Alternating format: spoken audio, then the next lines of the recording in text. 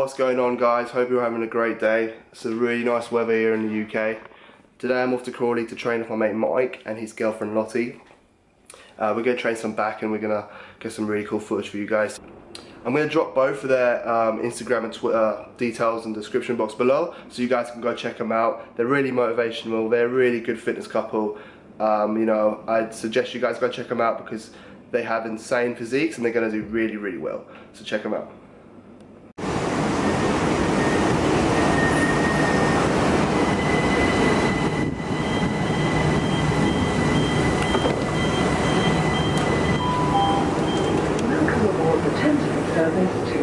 Bridges, calling at Coulsdon South, Merstham, Redhill, Gatwick Airport.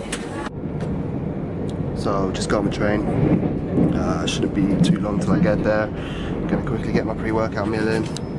Uh, some chicken rice and veg, and then my creatine and my glutamine in there as well. So yeah, it's all good.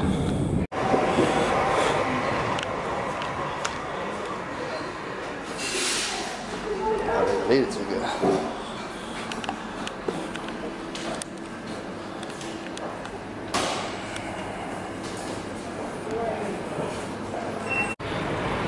So just got to Crawley Station, just wait for Lottie and Mike to come pick me up. I'm heading to Starbucks and then we're gonna go straight to the gym, pump out the session and uh, yeah, let's get it.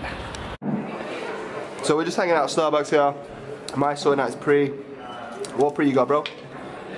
This MFN, Yeah? Sick. Do you rate it, bro? yeah. Yeah? You went to see the pump. So just smashing in my pre-workout. Got some Elemental Extreme here. This shit is crazy. Gonna take five of those. And then.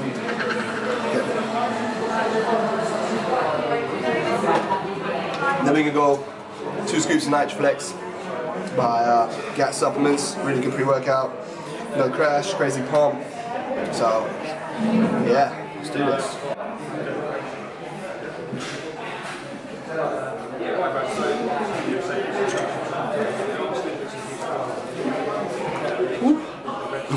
Get it, bro.